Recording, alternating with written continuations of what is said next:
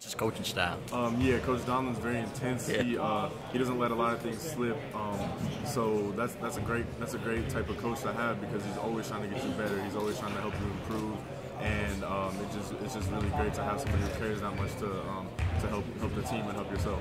How hard is it to pick up a, a John Beilein offense? Everybody talks about how complicated it is. Have you gotten to that point yet where you're really into the playbook?